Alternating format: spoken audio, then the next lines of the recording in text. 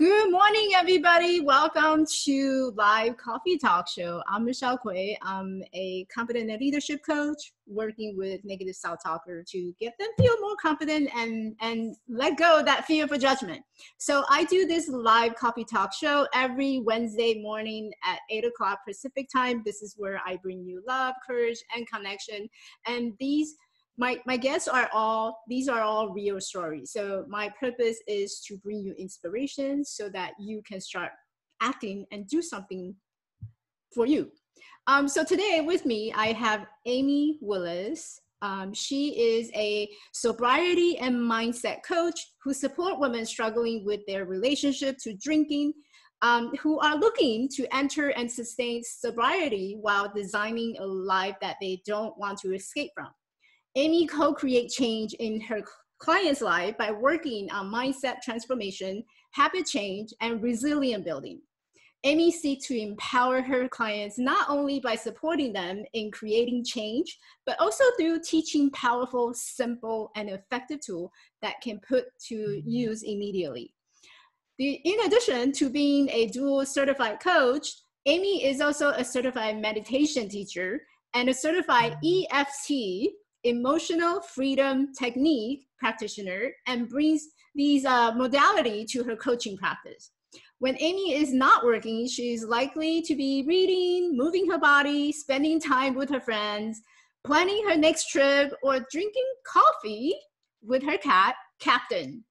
Amy calls Toronto home and work with her clients globally.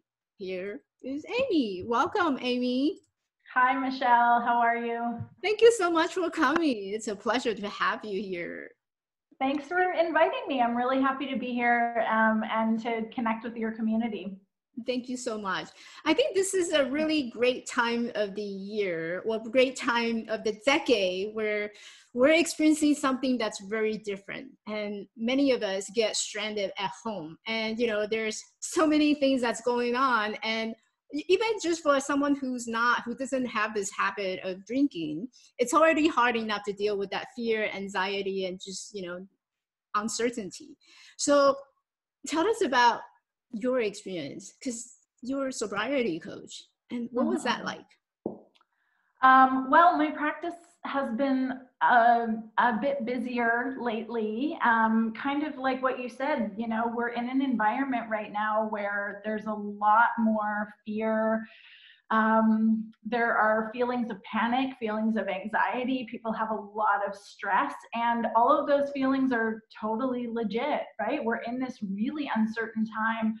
We don't know when it's going to end. We don't know what things are going to look like next. And if you are like a lot of people, you don't necessarily have healthy coping strategies to manage what you're feeling. Mm-hmm. And so we look to things that are available to us, like alcohol or food or sex or drugs or whatever it is, to create little pockets of relief for ourselves and to even just press pause on the intensity of what we're feeling in the moment. And so I'm sure this is true in the US, but it's definitely true in Canada right now. Like people are drinking at unprecedented rates right now. Um, liquor sales and alcohol sales have skyrocketed in the months of March and April. And again, I think it's the same in the US, but um, in Canada, the liquor store is considered an essential service.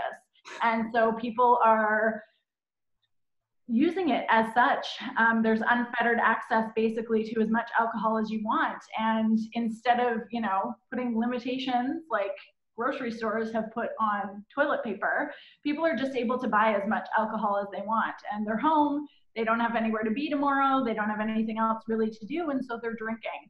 Mm. Um, so my role right now is to really support people in challenging some of the assumptions around drinking and what it does um, in your life and providing actual healthy coping strategies for folks so that they don't have to look to something that ultimately is not supporting them and not supporting their wellness mm-hmm. either in the moment or in the long term mm-hmm.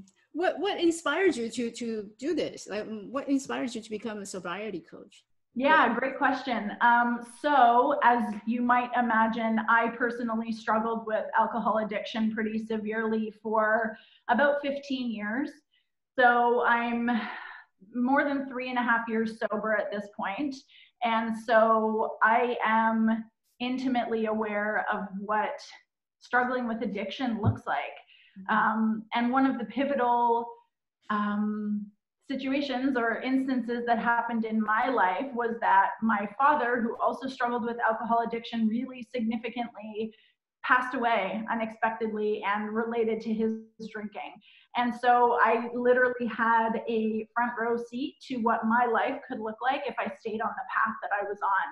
And so his death was actually a turning point in my life in terms of creating change, entering sobriety and actually living the life that I'm supposed to be living as opposed to living a life where I am out of it and numb and watered down and just not living in my purpose and, and serving other people in the ways that I can now. So it's my own personal experiences that really brought me to this work.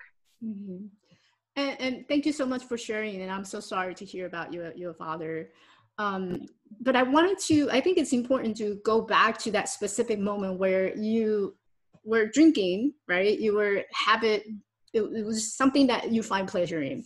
But then going back and watching your father going, you know, going from having, going through that journey, what, what were you feeling like in that moment? Like, what was going on inside?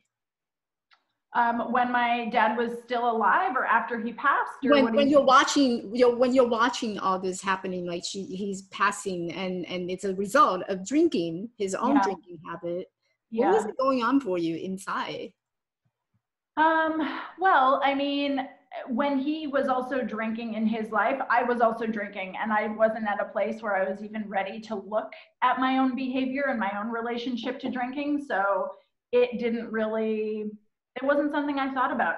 And it really was his death that made me look more closely at what I was doing. Um, obviously, losing a parent unexpectedly is horrible. Um, and uh, actually, my addiction got a lot worse after he died because I didn't have any healthy coping strategies to deal with the intensity of my feelings. And so I drank, and I didn't think that I could manage what I was feeling. Um, the feelings felt way too hard for me, and I thought they would break me. Mm-hmm. And so, on top of feeling, of course, like intense grief and sadness, there was also something inside of me that was saying that I needed to change my life or this was going to be my outcome as well. And like, was there more to my life than just getting drunk and being hungover all the time? And I knew that there was, I just didn't know how to get there. Mm-hmm. How, how did you get there? I mean, I think that's a, that's a very interesting question, right? Because then yeah. we're watching all this unfold and we, we have, we have a choice of making whether we wanted to cope without grieving, cope, cope without anxiety and all that uncomfortable feeling about some of our parents passing yeah. we can cope it by drinking or we can cope it by something else or to make a change yeah so so uh, how did you get to that point where you know what i know this is what i want and i'm going to start doing it this is the skills that i need how, yeah. how did you come to that point mm-hmm.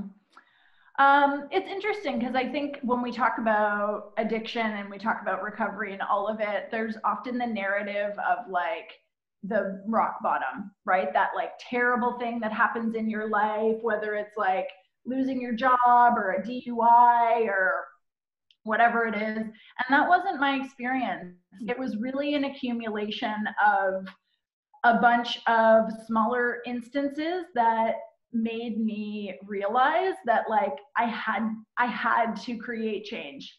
Like my I felt like my life was just slipping through my fingers and that I was wasting everything that I had inside of me because I was prioritizing my drinking. Mm-hmm. And so honestly like I, I can't even necessarily pinpoint a moment or a day when i was like okay this is it enough is enough because i have been thinking about it and ruminating on it for such a long time mm-hmm. but i think for folks out there who are thinking about creating change i think the first step is really making a decision So I decided that my life would not have alcohol in it any longer. And and I, I followed through with that decision. So it really is about recognizing that you want to make change and then committing to that change. Mm-hmm. And then, you know, subsequent steps come into place. So I um, let other people, like a small, small group of people that I trusted implicitly, I let them know what was happening in my life. Most of them didn't even realize that I was struggling so severely with addiction. Um, but I let them know that like I had to do this, otherwise I would be in a really bad position down the road. Mm-hmm. So I let other people know. Um, Addi- addiction is really lonely. Recovery can be really lonely. So reaching out, which is actually um, a practice of resilience, and letting people know and asking for their support and accountability can be really helpful. Mm-hmm. And um, beyond that, I mean, it's uh, what I'm about to say is actually quite huge, but I dismantled my life. I looked at every part of my life um, that involved drinking and I made changes. So I looked at um, what I was doing socially. I looked at who I was hanging out with. Um, obviously, the folks who, you know, if hanging out with them revolved around drinking and I was no longer doing that, then likely those folks didn't carry on in being in my social circles because it was just too challenging in the early days to be around them while they were drinking. Mm-hmm. Um, I took a look, uh, a hard look at the things that I believed to be true about myself, about my relationship to drinking. So I did a lot of mindset work, um, which is really, really important because we know that our thoughts and our beliefs are what inform and influence our actions, and our actions are what become our habits. And so, really, that for me was a crucial part of changing my relationship to drinking and changing my life was getting my um, outside and my inside world in alignment with one another. Um, so yeah, those are some of the things that I did to to start. And I think uh, piggybacking on the decision that I made I also made a decision to prioritize my sobriety over everything else. And so, with that, um, I created a lot of rock solid boundaries. So, if anything challenged my sobriety, it was a no. Mm-hmm. And that's just that's just what it looked like for me. And there's lots of ways to enter sobriety and to sustain it, but those are some of the things that worked really well for me. Yeah, I, I love how you brought up, you know, the fact that it, it has to work in from the inside out and outside in approach. You know, it, it has to be done both way.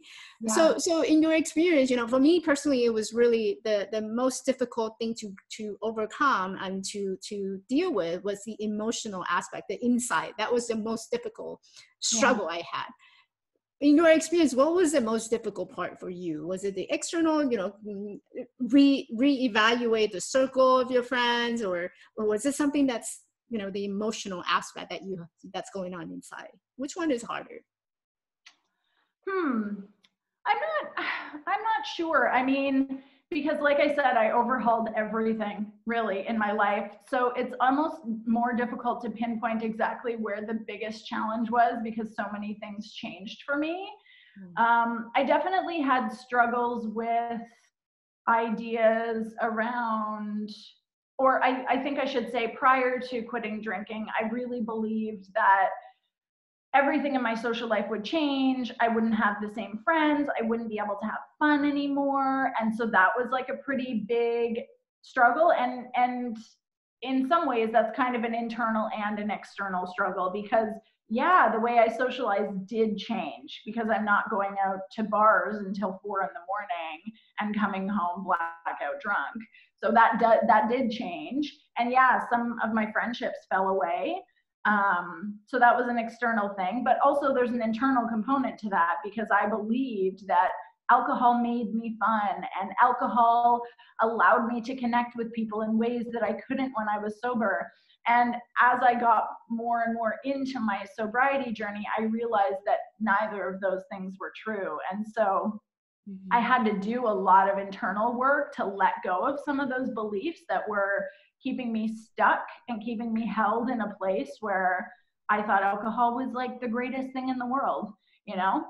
Um, so yeah, hard to say. I don't know if emotionally or internal work or external work was harder. Mm-hmm. Um, I definitely did struggle with the emotions piece and the I think I didn't believe in myself. I didn't believe in my capacity to handle or manage some of the intense feelings that I was feeling.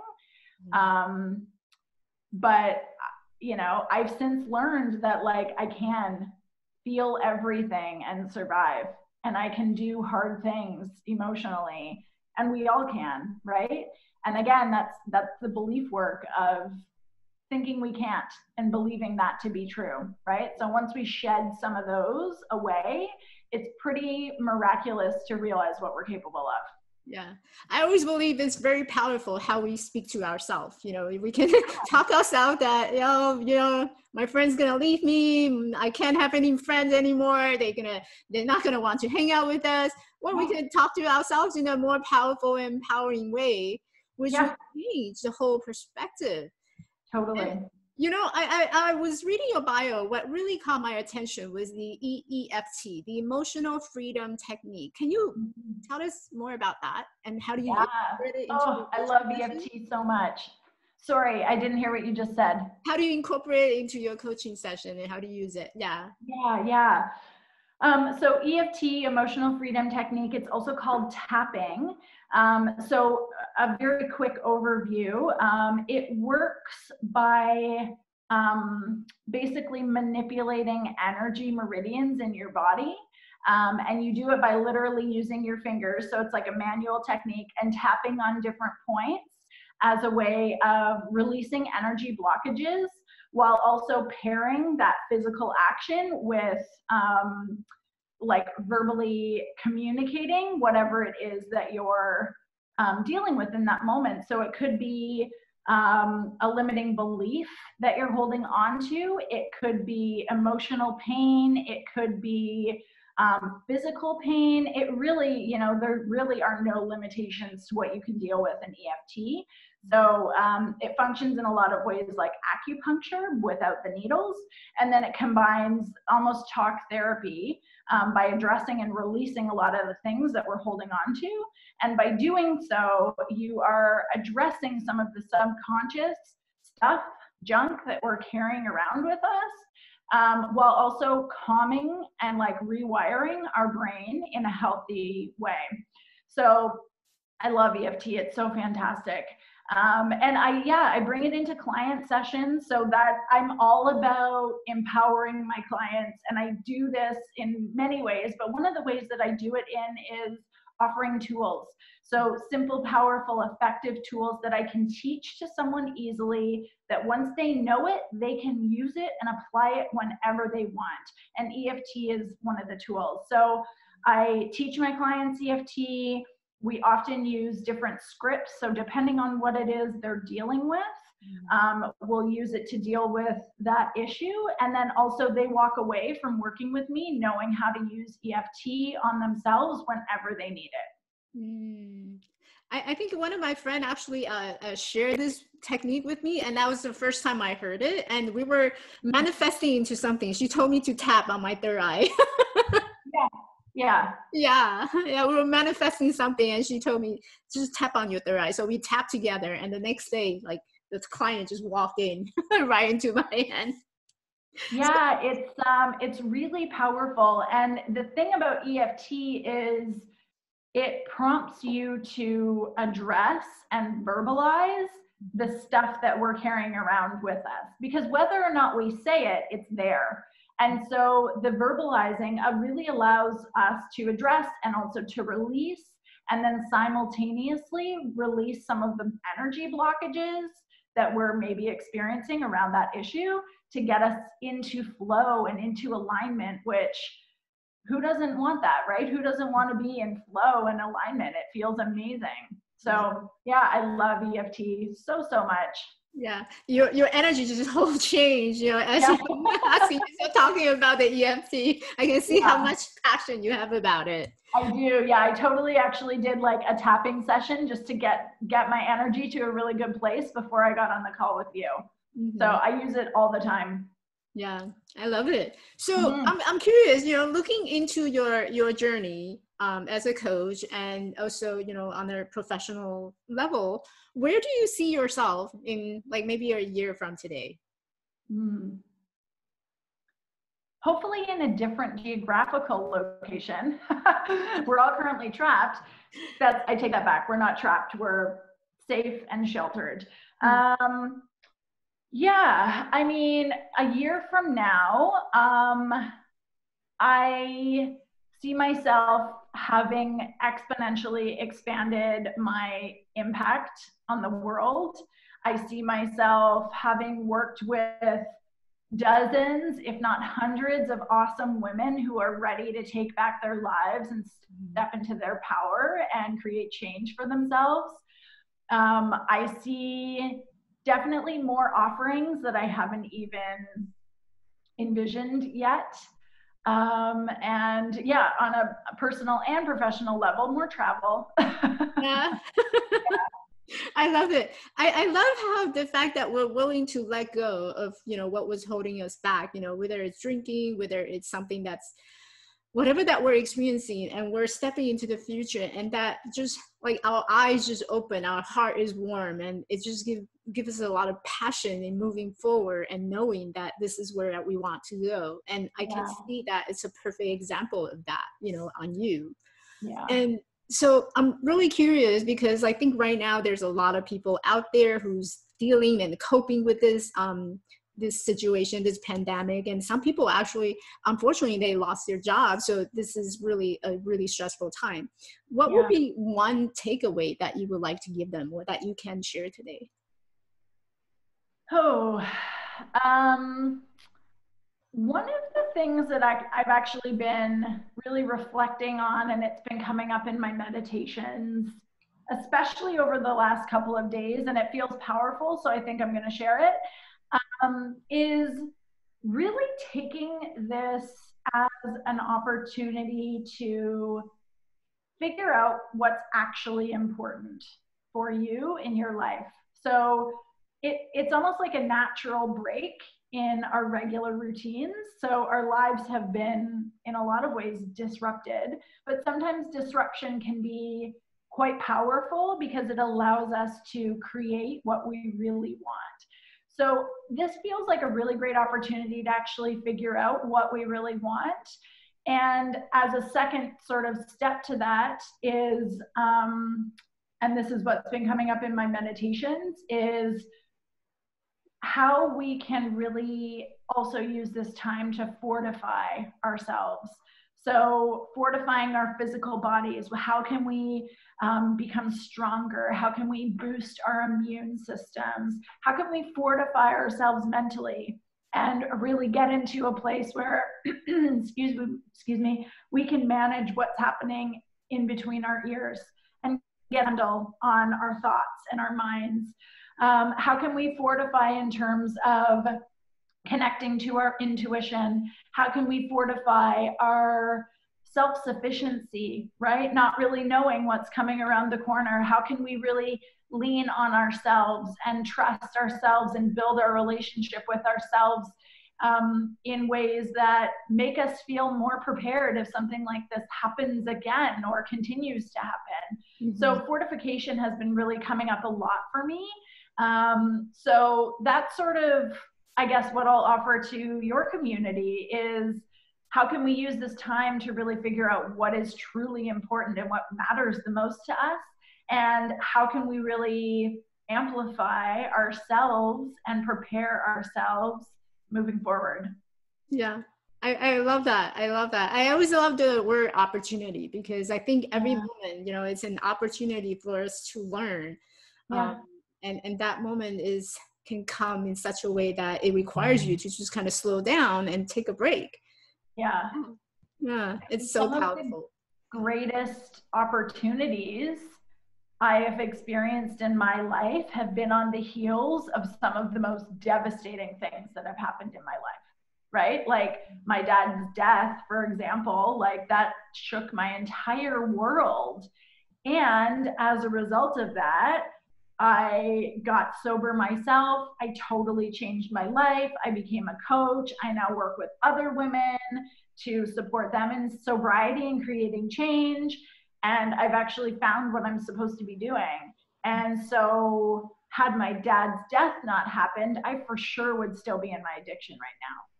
Mm-hmm. I just I just know that there wouldn't have been the same catalyst to create change in my life. So it was devastating, but it also really served as a gift in a lot of ways.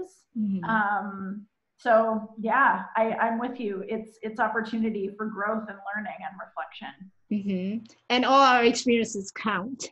Um, every yeah. moment of it, it counts. Yeah. They really do. Yeah. Yep.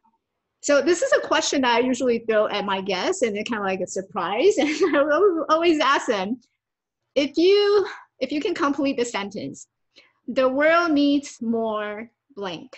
What goes into the blank for you?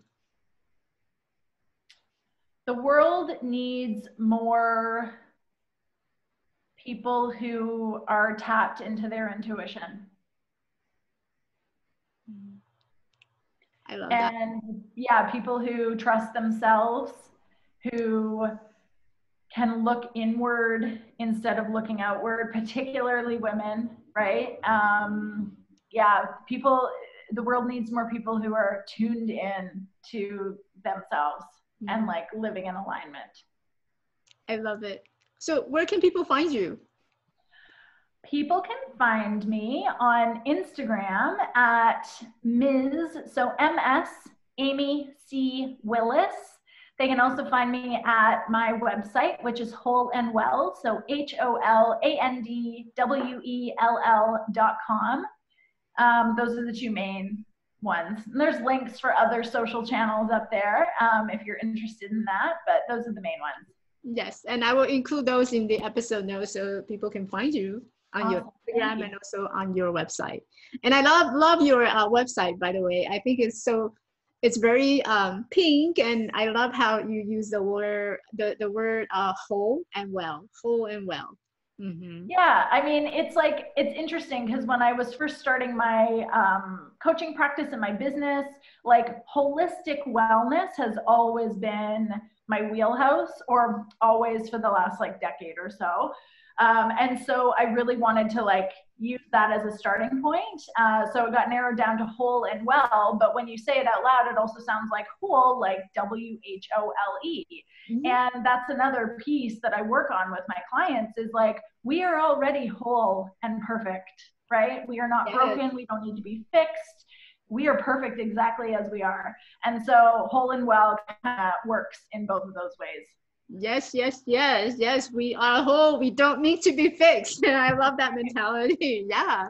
That's right. Well, yeah, thank you so much for coming and joining me today. It's been a pleasure, and and you know I'm sure you know my audience will be able to uh, walk away with something very valuable that they can use in their life.